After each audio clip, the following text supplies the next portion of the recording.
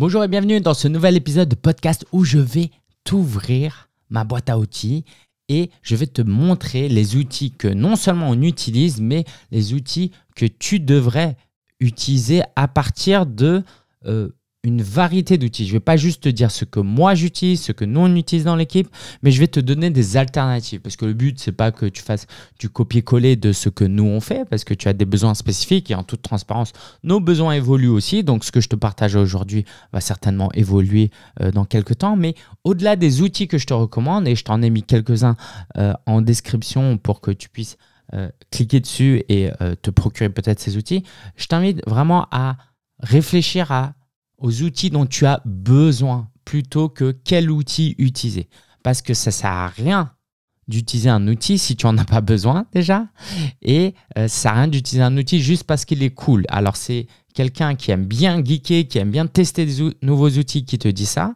Et si tu veux juste t'amuser à tester des outils et que ça fait partie de ton kiff, bah, je ne vais pas te dire de ne pas le faire, puisque moi-même, je suis passé par là. Et je sais que certains parmi euh, vous, bah, n'aime pas trop la partie technique. Moi, ce que j'ai envie de te partager à travers cet épisode, c'est déjà des, bons outils qui vont être simples à utiliser et efficaces, parce que j'en ai testé plein, mais j'ai aussi envie de t'aider à voir ça de manière euh, beaucoup plus légère et t'aider à voir le verre à moitié plein plutôt que moitié vide. On vit à une époque formidable où il y a des super outils qui peuvent nous aider à gagner du temps, développer notre marketing euh, et décupler notre impact. Et ça, ce serait dommage que euh, tu n'en profites pas. Et euh, voilà ma présentation. Alors, ma présentation, je vais la faire. J'ai essayé de classer les outils par département. Le truc, c'est que certains outils sont utilisés dans plusieurs départements. Mais c'est pas grave, je vais euh, te les classer par département pour que ce soit quand même plus simple pour toi à comprendre. Et puis, bah, au fil de la présentation, je vais improviser des outils parce que j'en ai certainement oublié. Et du coup, bah, let's go. J'aimerais te présenter mes outils marketing, vente, opérationnel, finance, technique, livraison. Tout d'abord, on va commencer par la partie marketing. Euh, juste pour le côté cool, après chacun sa définition de, ce qui est cool, bah, nous, on utilise ChatGPT pour la partie copywriting. Alors, c'est pas moi qui l'utilise à proprement parler, c'est plutôt Marélie dans l'équipe qui teste et qui fait certaines choses. Donc, euh, juste pour te donner une, une illustration, si tu envoies un email et que tu sais pas quel objet mettre, tu mets un texte banal et tu lui dis utilise la méthode AIDA, AIDA pour euh, améliorer bah, cet email plutôt ou améliore ce, ce, cet objet pour qu'il y ait plus de gens qui ouvrent cet email. Bref, tu peux poser ce genre de questions à ChatGPT, qui est une intelligence artificielle, si tu ne connais pas encore, pour améliorer tes textes. Alors, je ne vais pas rentrer dans le détail de chaque outil, sinon ça va vraiment durer deux heures. Euh, donc, let's go. Autre outil que je voulais te présenter, c'est sur la partie graphique. Aujourd'hui, on n'a on n'a plus besoin, en tout cas pour nos besoins actuels, de faire appel à, euh, un graphiste. On utilise Canva. C-A-N-V-A, qui est un outil de référence aujourd'hui. Euh, mais par contre, il va pas tout faire à ta place. Il hein. va falloir quand même bosser. Pour la partie emailing, qui est une partie clé quand tu cherches à développer ton business, parce que ça va te permettre de toucher des centaines et des milliers de personnes euh, juste en quelques minutes, en fait, avec euh, juste en écrivant un email. Du coup, nous, on utilise Kajabi, mais sinon, tu peux utiliser ConvertKit. Après, il y a les MailChimp, etc. Alors, Kajabi, c'est quand même assez coûteux. Donc, si tu débutes, c'est pas ce que je te recommanderais.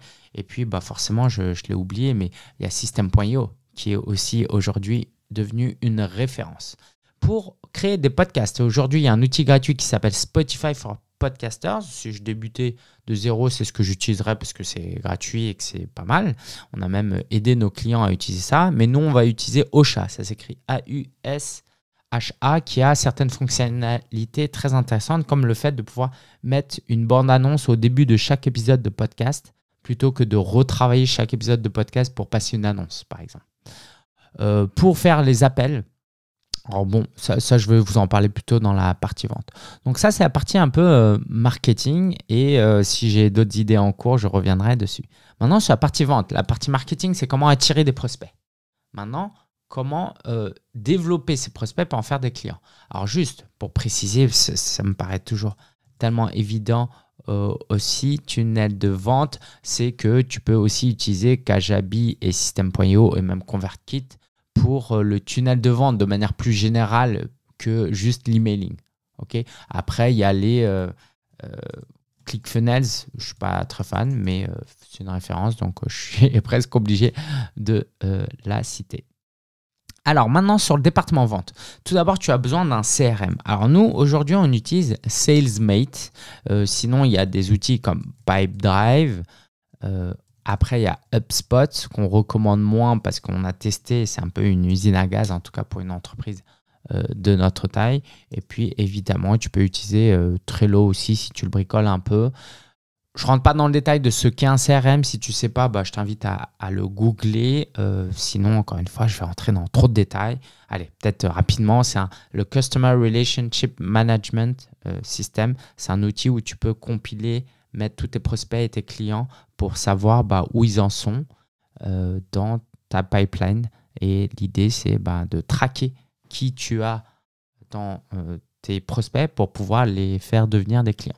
Alors pour le paiement, nous, on va utiliser Stripe, PayPal, mais des outils qui sont pas assez connus, c'est GoCardless. Aujourd'hui, on utilise principalement GoCardless. Plutôt que les gens payent par carte bancaire et qu'au bout de six mois, la carte bancaire périme, et si tu as facturé en dix fois, bah, tu peux plus encaisser, ou, euh, ou sinon, il faut que la personne change sa carte bancaire, mais c'est toujours un peu compliqué. Parfois, nous, on utilise GoCardless, qui en plus est moins cher, parce que la personne, elle va juste mettre son IBAN. Et là, il n'y a plus de problème. Et les frais sont moindres. Euh, l'argent met un peu plus de temps à arriver. Euh, la mise en route est un peu plus compliquée, il demande quand même plusieurs infos, etc. Mais c'est un super outil euh, qu'on recommande très vivement. Et là, je suis en train d'explorer euh, que je n'ai pas encore mis en place au moment où je fais cet enregistrement. Donc, théoriquement, c'est sympa. Je vais voir que, comment ça marche. Et peu importe que dans 10 ans, ce soit l'Nbox ou un autre, mais c'est un outil de crédit à consommation. L'idée, c'est que ton client Normalement, s'il veut payer par exemple en six fois, bah, tu vas recevoir six paiements et il y a des risques, notamment qu'il arrête de payer, etc. etc. Avec l'Enbox, c'est un, un, outil de crédit à consommation. Lui, il va s'engager auprès de cette entreprise et toi, tu vas encaisser tout d'un coup, quel que soit ce qui se passera après. Et du coup, ben, évidemment, ils te prennent une commission, ça c'est normal, mais au moins tu encaisses tout d'un coup. Et si tu as certaines charges, euh, et si tu veux faire certains investissements, ça peut être sympa. Donc euh, nous, on va voir ce, qu'on en fait et peut-être que je t'en reparlerai euh, sur la chaîne YouTube, par exemple. Outils de messagerie pour discuter avec nos prospects et certains de nos clients, c'est WhatsApp Business notamment que tu peux utiliser avec on-off. En gros, tu as le WhatsApp normal, mais tu as aussi WhatsApp Business. WhatsApp Business, c'est la même application pour faire simple, mais tu peux pas utiliser le même numéro. Donc, il te faut un deuxième numéro. Donc, soit tu achètes une autre carte SIM, comme nous, on l'a fait, euh, ou on l'a déjà fait, voilà. Ou soit tu crées un numéro virtuel avec une application comme on-off.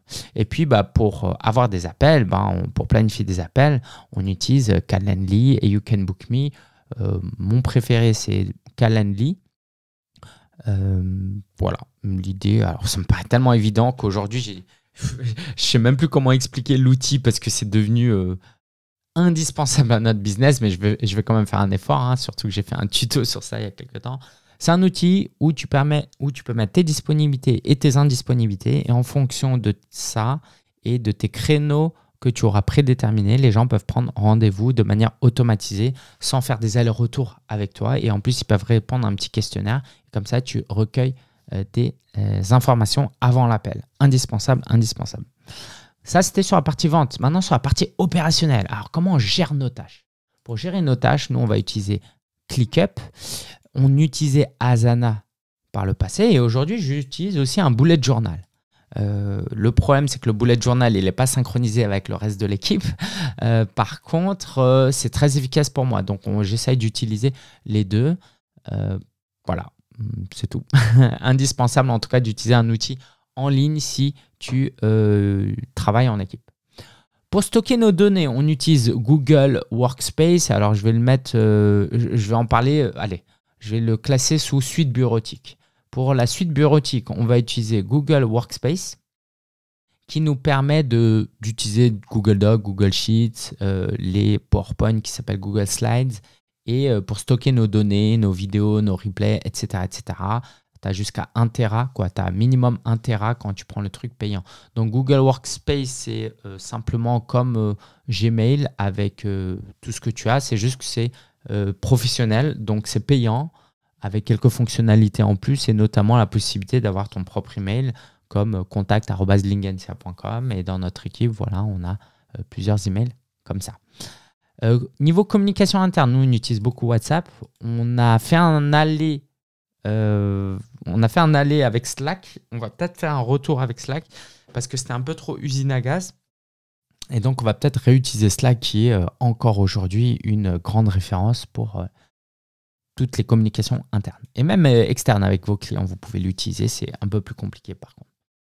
Pour se former, je voulais te mettre cet outil. On utilise souvent Udemy, donc je voulais en parler. Il y a souvent des formations en promo à 10-20 euros sur certains trucs. Quelquefois, tu n'as juste pas besoin de payer une grosse formation pour certaines choses. Et pour prendre des notes, on est en train d'explorer Notion pas juste pour des notes d'ailleurs, pour euh, créer des, des, process, tout ça. Donc, euh, on a en cours de réflexion. Euh, les notes, comme les notes que j'utilise pour faire ce podcast, ben, on va utiliser MindNode et Google Keep, qui est l'équivalent de l'application Notes sur iPhone, par exemple, qui nous permet de au moins synchroniser. Ça veut dire que mon équipe peut voir ce que je mets dans Google Keep. C'est plus facilement accessible qu'un Google Doc, par exemple. Donc ça, c'était sur la partie opérationnel. Maintenant, sur la partie finance, euh, en termes de banque, je voulais te parler de Conto et Shine qui sont aujourd'hui euh, les références si tu as une société. Si tu n'as pas de société, tu as plus de choix. Mais quand tu as une société, les banques en ligne de référence aujourd'hui, c'est Conto et Shine. Donc, on réfléchit à passer chez l'un d'entre eux. Je crois que j'ai même essayé de les avoir en, sponsor pour ce podcast. Euh, je crois qu'ils m'ont pas répondu. Et actuellement, on est chez la BNP. avec avec ses forces et ses inconvénients. Euh, le truc, c'est qu'au moment où je t'enregistre cet épisode de podcast, hier, j'ai eu des virements reçus rejetés. Donc, ça me donne pas trop envie de les encourager et de les recommander. Mais les banques traditionnelles ont euh, quand même des gros avantages, comme d'avoir un conseiller privé. Nous, on a quelqu'un qui, est vraiment top et très disponible et très efficace. Euh, voilà, on a une super conseillère. Par contre, ce que je voulais dire, oui, quelquefois, il y a, des, il y a un découvert autorisé? Je ne sais, jamais comment ça s'appelle. Euh, voilà, bref, tu peux avoir un découvert, mais ça ne s'appelle pas comme ça quand tu es une entreprise. Euh, qu'est-ce que je voulais dire? Tu peux faire éventuellement des prêts. Et par contre, ça coûte beaucoup plus cher qu'une banque traditionnelle. Alors, beaucoup plus cher si tu es une société. Hein. Encore une fois, si tu es un auto-entrepreneur, tu peux négocier avec ta banque pour avoir des frais très faibles. Donc en tant que société, en tout cas, voilà. Et c'est pour ça que nous, on réfléchit à passer à une banque en ligne pour aussi avoir une deuxième carte bancaire euh, et créer des sous-comptes, etc., etc. En termes de facturation, on va utiliser euh, soit un outil euh, proposé par notre expert comptable, soit on va utiliser Quaderno, qui est un peu cher selon nous je crois on paye 49 dollars par mois ou euros par mois pour le moment. Je vais voir si on peut passer à un plan moins cher. Euh, mais en tout cas, les factures sont générées automatiquement et ça nous fait gagner du temps et ça, c'est plutôt euh, cool. Sur la partie plus technique, ok, si on, imagine qu'il y a un informaticien dans notre entreprise, je peux dire qu'on utilise parfois Zapier, euh, qui est un outil d'automatisation qui connecte plusieurs outils qu'on n'utilise plus trop en ce moment. Euh, Chrome comme navigateur qui est pour moi largement supérieur aux autres, notamment parce que tu as plein d'extensions que tu peux ajouter. Et pour notre site web slash notre blog, dont j'ai pas encore beaucoup parlé, on en reparlera plus tard, on va utiliser Kajabi, nous, qui fait donc euh, tout plein de fonctionnalités, c'est pour ça qu'il est très cher. Euh, WordPress pour le blog, Yonos euh, qu'on n'utilise plus trop, mais on va souvent utiliser euh, voilà, WordPress avec O2 Switch pour héberger. Sinon, tu peux utiliser Wix et Squarespace pour un blog, un site. Et actuellement, on teste Video Ask, qui est un outil qui permet sur certaines de nos pages d'avoir un, un petit pop-up avec ma tête et qui te pose quelques questions. Et en fonction de ce que tu réponds, il te redirige vers certaines ressources. Bref, c'est assez sympa. On est en train de tester ça en ce moment et je pense qu'on va le garder. en termes de livraison, c'est le côté, OK, euh, comment on sert nos clients. Donc, on utilise Kajabi pour héberger nos formations parce que dans notre accompagnement, il y a toujours une phase de théorie, donc de formation. La deuxième chose, euh, c'est qu'on utilise Circle, qui est un espace communautaire. Nous, on a un programme d'accompagnement qui est très basé co-développement, très basé communauté, et c'est important de les mettre en relation. Et souvent, les outils de formation sont des outils de théorie euh, pour regarder des vidéos, pour faire très simple. Hein. Euh, alors après, je sais qu'il y a LearnyBox que je recommande pas trop parce que je connais pas trop déjà et parce que ça me paraît un peu. Voilà, je vais pas en dire plus euh, parce que je connais pas trop, mais que que j'utilise pas et bon, je, voilà, j'ai pas trop envie d'utiliser et, et peut-être c'est mon côté, j'aime bien utiliser des outils américains. Euh, voilà, j'ai un, certain biais dans ma tête parce que je suis un peu américain en tant qu'entrepreneur. Euh, donc on utilise Circle qui nous permet, je sais pas comment t'expliquer ça, c'est euh, différents espaces où tu peux communiquer. Alors le meilleur moyen de t'expliquer, c'est peut-être te donner un exemple.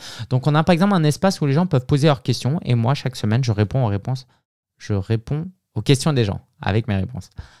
Il y a un espace où les gens euh, peuvent voir l'agenda avec tous nos événements qu'on organise, un, espace où les gens peuvent offrir du coaching et bénéficier du coaching des autres, un espace où les gens peuvent partager euh, leur succès et euh, leurs bonnes nouvelles. Ça, c'est important pour nous, nous encourager, où il y a des défis du mois, bref, il y a tout plein de choses. Et c'est un espace où, entre guillemets, on est au même niveau. Chacun partage, et euh, voilà, il y a moins ce côté euh, vertical, hiérarchique. On est tous au même niveau, on partage. Euh, par exemple, quand les gens posent des questions, bah, il y a souvent des membres qui vont répondre aux questions.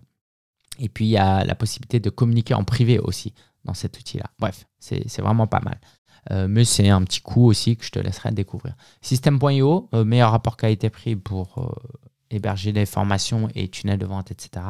Podia aussi qui est pas mal, qui voilà dans le, même esprit que System.io mais moins complet, par contre peut-être un peu plus joli. Et euh, ConvertKit, euh, ConvertKit c'était plutôt un outil que je voulais te partager pour la partie euh, envoi d'email. On va aussi utiliser Typeform. On fait beaucoup de sondages et de questionnaires auprès de nos clients. On va leur demander régulièrement leur feedback, donc on utilise Typeform, mais on l'utilise aussi en interne et on l'utilise aussi euh, en marketing pour recueillir euh, certaines inscriptions, etc. Donc Typeform, mais sinon tu as évidemment Google Forms qui est gratuit et qui est très bien. C'est juste Typeform a des fonctionnalités plus avancées et il est plus joli. Pour les appels, évidemment, avec les clients, on utilise Zoom. Je t'avoue qu'à un moment donné, on s'était fâché un peu avec Zoom. Je t'épargne cette histoire. On a tourné un épisode de vlog dessus. Mais comme alternative, il y aurait éventuellement Google Meet. Alors, il y a aussi Teams de Microsoft, mais euh, je, suis gêné de dire ça parce qu'on a une de nos clientes qui utilise Teams en ce moment, mais euh, franchement, Zoom, c'est de loin le meilleur outil. Euh, voilà, c'est tout. Et puis, Typeform, j'en ai déjà parlé tout à l'heure. Donc, voilà, ça, c'est notre boîte à outils. J'essaye de réfléchir à ce qu'il y a d'autres outils qu'on utiliserait comme ça. Mais en tout cas, c'est pas mal. Donc, encore une fois, le principe, c'est part de ce dont tu as besoin. Vois les différents outils. Franchement, je t'en ai recommandé pas mal. Euh, j'ai une certaine connaissance du métier. Donc, euh, si tu trouves des outils en dehors de ce que je te recommande, ce serait un peu prétentieux pour moi de te dire que ce serait euh, pas des bons outils. Mais en tout cas, je te dirais de bien les considérer avant de choisir d'autres outils que je t'ai présentés. Parce que j'ose penser que je t'ai présenté quand même des, des super outils. Voilà, si tu as des questions, bah, en tout cas, à tout moment, euh, tu peux euh, accéder à notre email, nous poser des questions. Et euh, le meilleur moyen de le faire, c'est qu'en fait, en description à ce podcast, il y a un lien vers notre masterclass où on te présente les quatre piliers pour développer ton business de coach. Je t'invite vivement à regarder. c'est très différent de ce que j'ai pu faire dans le passé parce qu'on est plus dans du mindset, dans des prises de conscience que juste de la tactique qu'on va pas forcément mettre en place. Donc, si tu n'as pas regardé un masterclass, vas-y vite. Et quand tu t'inscris, bah, tu vas recevoir des emails. Et à ce moment-là, si tu as envie d'échanger avec nous, il suffira juste de répondre aux emails. J'espère que cet épisode t'a plu. J'ai l'impression d'avoir parlé en x2. J'écoute tellement de, podcasts en x2 que j'ai peut-être l'impression de devoir parler en x2. Euh, je te dis à très bientôt pour un nouvel épisode et merci d'avoir suivi euh, cet épisode de Coach en Mission. Ciao, ciao.